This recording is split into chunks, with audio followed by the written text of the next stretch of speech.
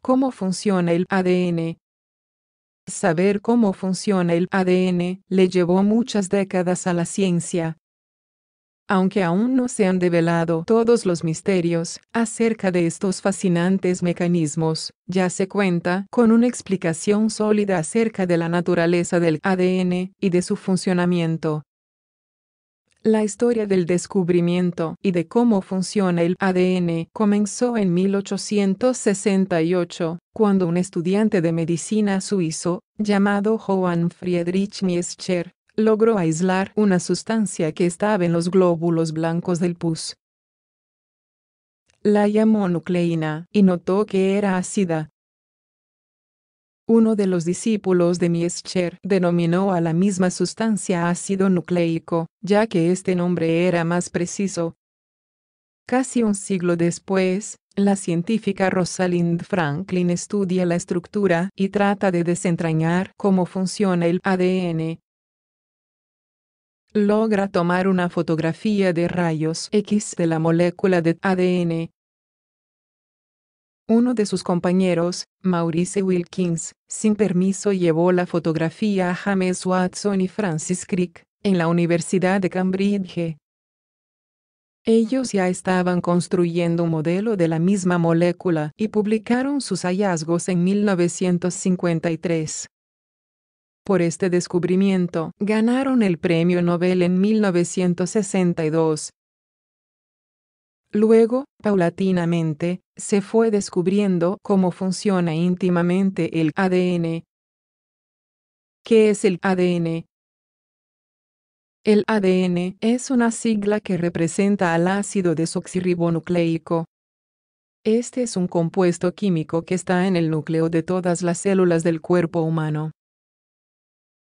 Está conformado por un conjunto de moléculas a las que se les conoce como nucleótidos. El ADN contiene nuestra información genética. Es como una especie de manual en el que están las instrucciones biológicas para que seamos como somos y funcionemos como lo hacemos. La información genética determina las características de cada especie y de cada individuo de la especie el 99% del ADN es igual en todos los seres humanos. El 1% restante es el que nos hace únicos a cada uno.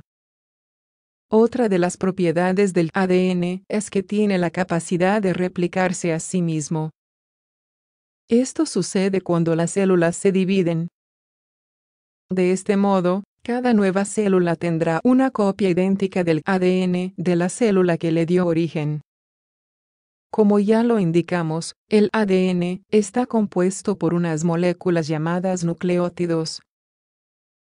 Estos forman cadenas que se entrelazan y forman una doble hélice. Guardando las proporciones, es como si dos serpentinas se enlazaran entre sí.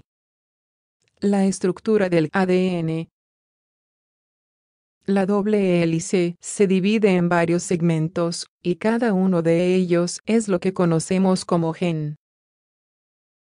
El gen es la unidad básica de la información genética. Los seres humanos tenemos alrededor de 20.000 genes, y cada uno de ellos determina alguna de nuestras características, como el color de ojos o el tipo de sangre. Asimismo, los genes se agrupan y forman una especie de paquete, en forma de X alargada. Esos paquetes son los cromosomas. Contienen grupos de genes, a veces cientos, a veces miles. No todas las especies tienen el mismo número de cromosomas. Los seres humanos tenemos 23 pares de cromosomas, es decir, un total de 46. La mitad de estos cromosomas los aporta la madre y la otra mitad el padre. Todo el conjunto de genes, que está en todo el conjunto de cromosomas, es lo que se denomina genoma. Un aspecto fascinante es que cada cadena o hebra de la doble hélice tiene todo el código genético y es exactamente igual a la otra cadena, pero de forma antiparalela. Esto quiere decir que una tiene escrito el código de adelante para atrás y la otra de atrás para adelante. Los cromosomas son como paquetes de información genética. ¿Cómo funciona el ADN? Las dos cadenas que componen la doble hélice se mantienen unidas gracias a la acción de cuatro químicos, a los que se les llama bases. Cada una de estas bases se identifica con una letra y son las siguientes. Adenina, A, citosina, C, guanina, G, timina, T, la unión entre esas bases es lo que determina las características de cada gen. Sin embargo, estas bases tienen que cumplir una regla. Cuando una cadena tiene una base de adenina, la otra tiene una de timina. Y cuando una tiene una base de citosina, la otra es de guanina. Si se rompe esta norma, se produce una anomalía, a la cual se la llama mutación.